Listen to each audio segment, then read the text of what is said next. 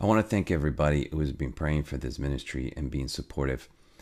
This is a great time of trial, and prayer is the absolute best form of payment that I can receive from any of you. So please continue to keep me and my family in your prayers. I appreciate that. I also want to share that I've been regularly meeting on Zoom with a group of people, mostly coming from this channel, and we meet on Saturdays, typically at 8:30 a.m. Easter Standard Time, as well as Sundays at 6 p.m. Easter Standard Time. And this is the best way I have to share the teachings and the revelations I have from the Lord, as in these videos sometimes take very long time for me to do the editing. And with that time, I actually can go over extensively the teachings and the wisdom I receive from the Lord. I invite you to join these Zoom meetings, and you can send me an email to join. We will do uh, several different types of meetings, mostly at teachings, but there's also prayers, and some are specialized teachings, like this one I'm going to be sharing here in a very simplified and summarized version on marriage.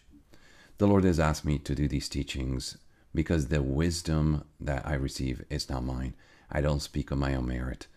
I simply, whatever I hear from the Holy Spirit, I share it with the world. This is because it is a time of tremendous deception.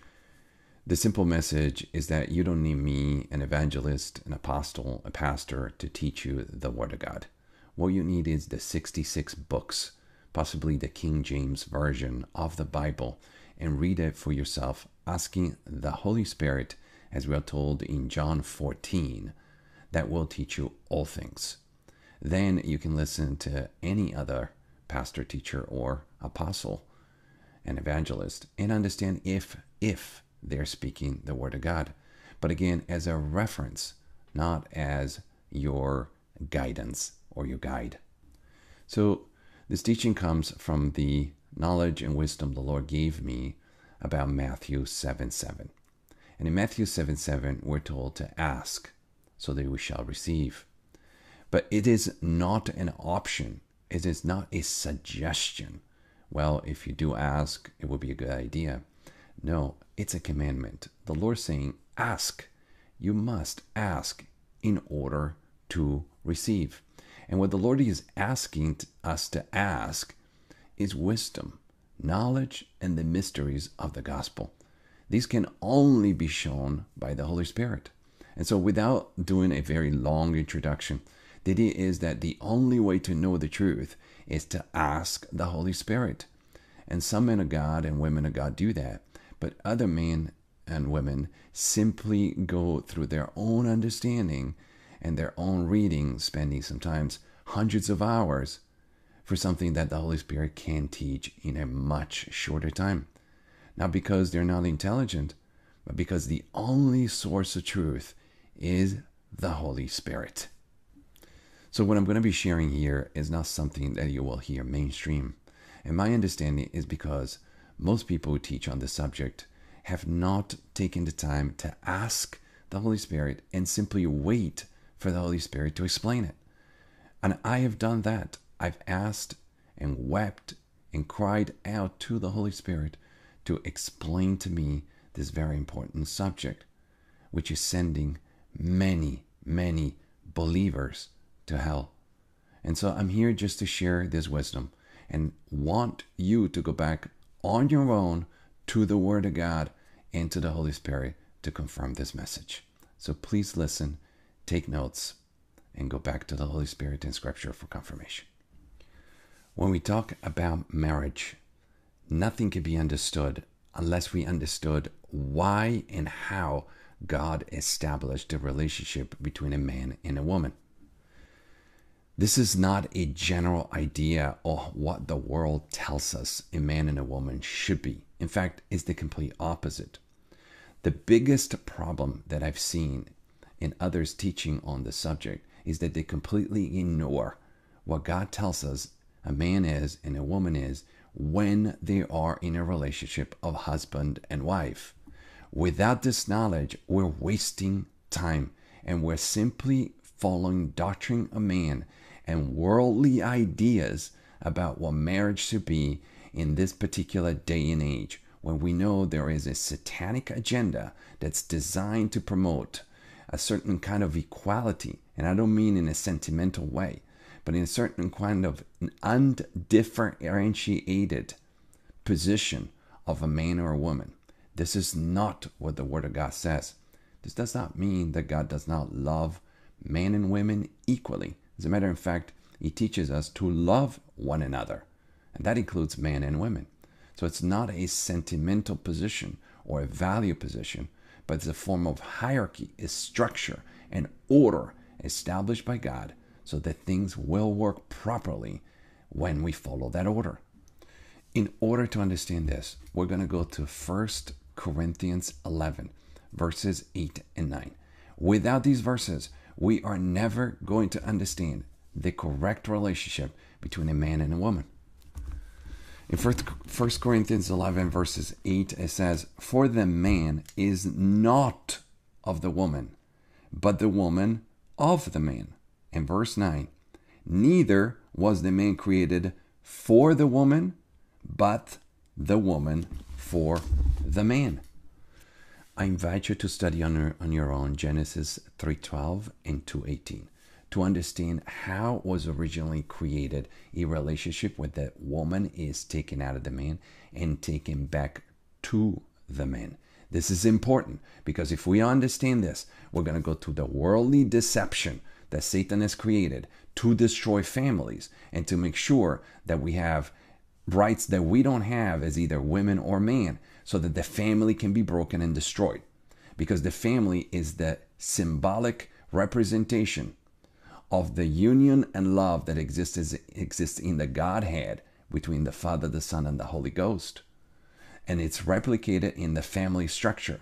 And this is why Satan hates this structure and he's making sure that there are deception in place within the church so the family can be broken. So please understanding 1 Corinthians 11 verses 8 and 9 is the foundation on what we're going to be talking about next.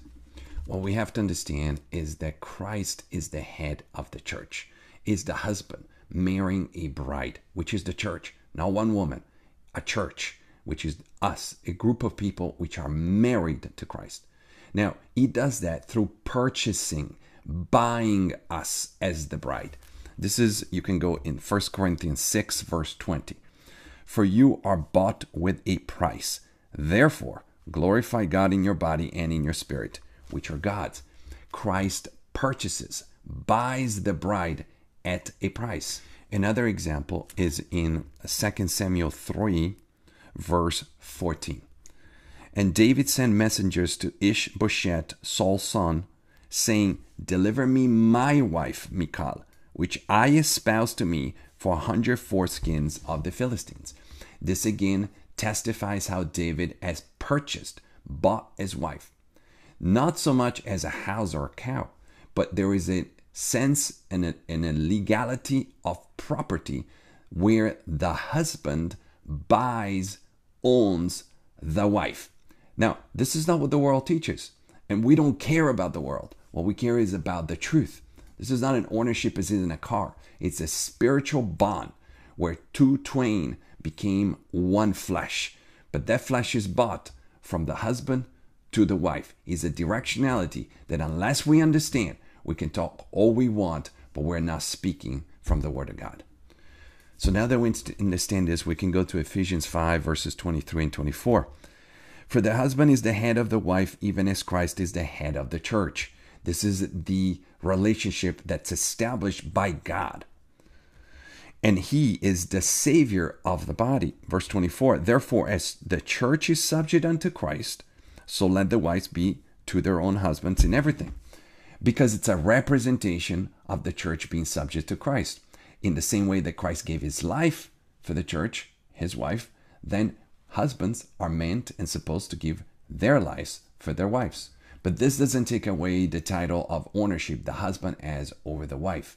Without this, everything else in the gospel will not make sense. But with this understanding, it will be perfect sense. And in fact, there will be no contradiction between the Old Testament, the gospel, the words of the Lord, and the letters of Paul.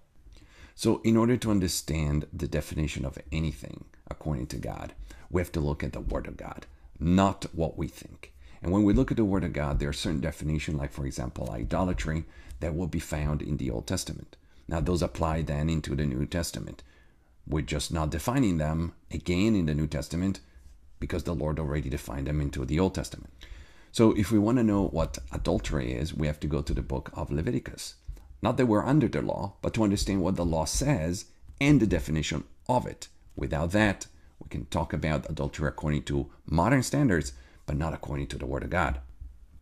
So, in the book of Leviticus, for example, you will notice if you go through every one of the verses, that's in addressed to either a man, a soul, every everyone, everyone, or a woman. It's very specific verse by verse. For example, in Leviticus 20, verse 15, it says, And if a man lie with a beast, he shall surely be put to death, and you shall slay the beast.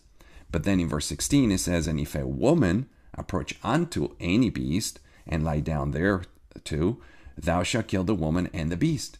So notice and understand that the Lord has two separate verses, one for the man and the beast, one for the woman and the beast. So it's very specific. Who is he talking to? And the definition is giving us for who is he speaking about. So when we go to Leviticus 20, verse 10, we read, And the man that commits adultery with another man's wife, even he that commits adultery with his neighbor's wife, the adulterer and the adulteress shall surely be put to death. But notice it's talking about a man, not married or unmarried, we don't know.